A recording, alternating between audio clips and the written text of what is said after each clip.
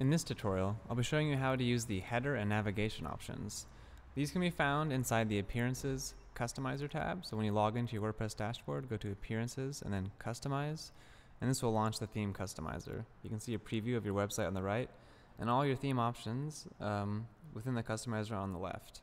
And there's a couple settings that apply to header and navigation um, specifically. So first of all, under theme settings, you can choose to have your header either be on the top or on the left. So if you enable vertical navigation, it's going to take your header and place it over here on the left instead.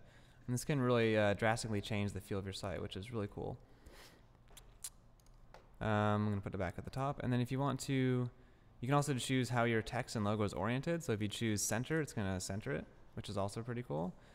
Um, within the header, you can um, add contact info. So if you add a phone number,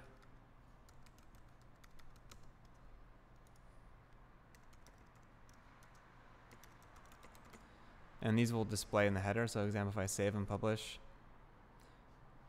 and take a look at my site now, you can see um, the contact info has been added up in the secondary navigation bar area.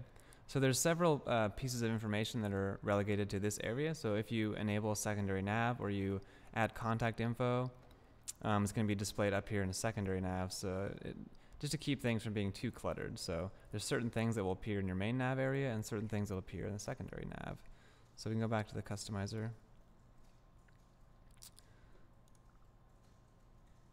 You can also choose the text color for your primary and secondary nav bar areas. So depending on the colors you, are using, you want to change your text to be either light or dark so that it shows up on the background color you're using.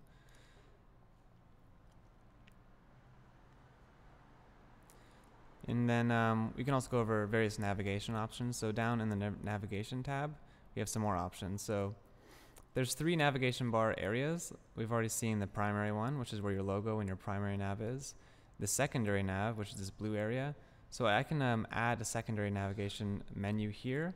Um, once you've created a menu in the appearances menu um, section in your WordPress dashboard, you'll have the option to apply it to either the primary or secondary nav area. So under the secondary nav option here, I'm going to select um, one of my menus, and here you go, it's been added to the top here to the right.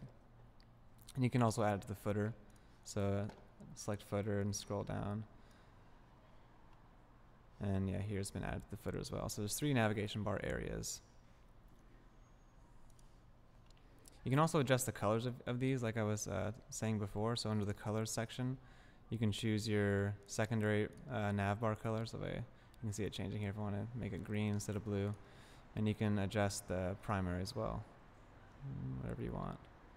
And if I happen to make the primary a dark color like that, blue, you're probably going to want to go back to your theme settings and change your primary nav uh, color to light so that your text shows up. There you go. So that's what those options are for. And that's a basic overview of um, the header and navigation options.